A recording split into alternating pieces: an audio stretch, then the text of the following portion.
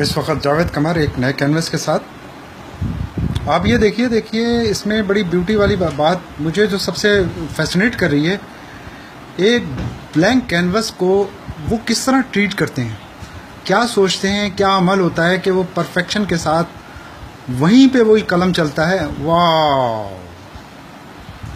देखें क्या खूबसूरत वाह वाह माशाल्लाह। जावेद कमर कमाल है। छा गए जी तुसी छा गए जी। वाह वाह वाह वाह। ये देखें। ओ। हम्म, देखें आप देखें कितना फ्लो फ्लो देखें आप।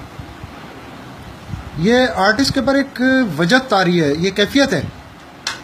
क्योंकि इस कैफियत के बाद ये चीज़ वजूद में आती है। बहुत से लोग क्या कहते हैं, इस चीज़ को शायद समझने से कासिर होते हैं कि ऐसे कैसे हो सकता है। लेकिन ये आपके सामने सबूत है। ये देखें। वाह।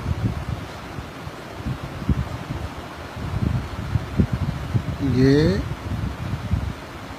कितने पैरेलल उन्होंने एक दूसरे के साथ कलम चलाया, एक दूसरे में नहीं घुसाए इन्हें, देखें। ये फिर एक पैरेलल उसके लाइन उन्होंने खींची और फिर एक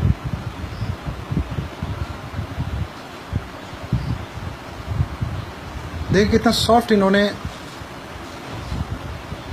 सुबहान अल्लाह वाह वाह।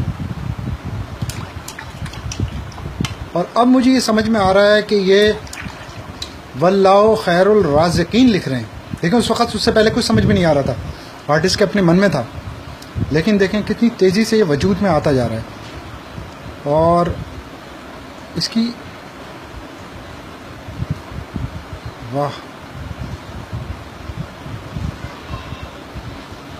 देखें, नुक्ते रखने का अमल देखें, जैसे नगीने लगते हैं, उस तरह से ये नुक्ते लगा रहे हैं।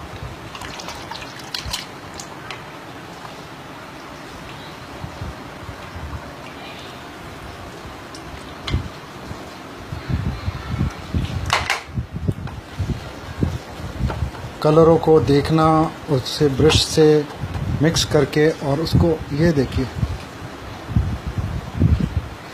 वाह! देखिए, आपने इसमें देखा उन्होंने पहले पेंटिंग में पहले नुक्ता लगाया था और इन्होंने इसके बाद, इसको एक बाद में ये नुक्ता लगाया और नकीने की तरह फिट हुआ है और एक फ्लो देखें। वाव और नून को इन्होंने किस तरह एंड किया है।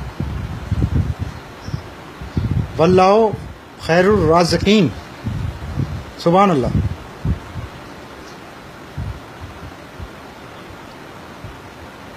और मैं तो ये ये कहता हूँ कि अगर जावेद भाई एक अपनी एक एग्जीबिशन लाइव सिर्फ़ लाइव पेंटिंग परफॉर्मेंस रखें तो मेरा ख्याल है पाकिस्तान में इस तरह से कोई एग्जीबिशन नहीं की होगी। लोगों लोगों ने हमेशा स्टिल एग्जीबिशन की है, यानी कि अपने घर से पेंटिंगें ला के लगा दी वहाँ पे और हैंग कर दी।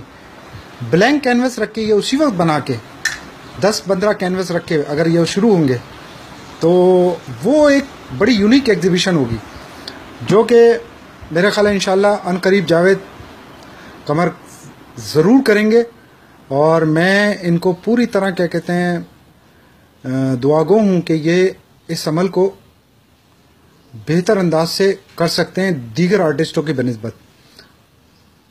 क्योंकि इस तरह से काम करने से पता चलता है कि आर्टिस्ट कितना मगन होकर काम करता है और कितना दिल से करता है। और सबसे खूबसूरत बात यह है कि ये कुरानी आयात अल्लाह का कलाम इतने खूबसूरत अंदाज से एक्सप्रेस करते हैं कि ऊपर वाली ज़ात इनके ऊपर ख़ास तौर पे मेहरबान है, जो ये अमल इनसे करवाती है। और ये बहुत कम लोगों के नसीब में होता है कि कुदरत इस तरह से ऐसे मौके पे कोई चीज़ करवा दे। प्रैक्टिस करके कुछ चीज़ें बना लेना, वो तो अपनी जगह है। लेकिन बिल्कुल ब्लैंक हालत में कोई कैनवस सामने रखा हो या पेपर सामने रखा हो, उस पर कुछ बना देना, ये आर्टिस्ट की महारत का पता देता है। ये देखें, वाव के अंदर कितने खूबसूरत तरीके से ये ब्लू कलर लगा रहे हैं।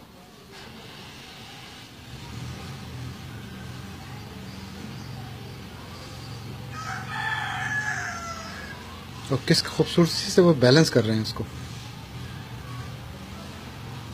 देखें बहुत बहुत खूब, जावेद भाई। शानदार। शानदार, ये देखें आप, इसका व्यू देखें। कितना खूबसूरत है। वाह।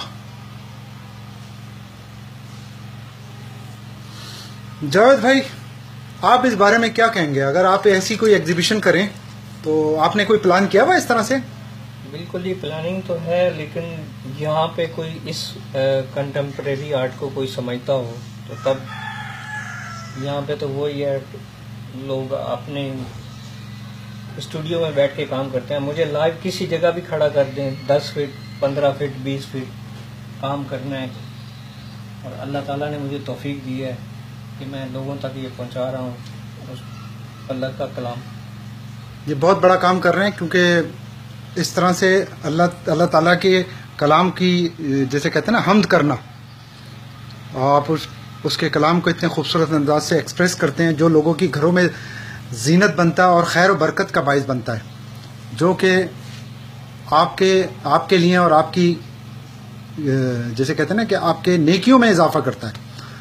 बहुत मोहब्बत, बहुत शुक्रिया जावेद भाई, बहुत ज़बरदस्त, बहुत पसंद आया और ये ये देखिए आप, एक नज़र और देख लें, पूरी मूवमेंट देखें। एक के अंदर एक दायरा, दूसरे के अंदर दायरा पे अलिफ के साथ एक दूसरा अलिफ, ये देखें, बहुत खूबसूरत। और ये देखें, वाव का जिस अंदाज से फ्लो आया है, और जो कलम की ना लाइनें और जो स्क्रैप पर नज़र आया, वो लाजवाब है। बहुत शुक्रिया।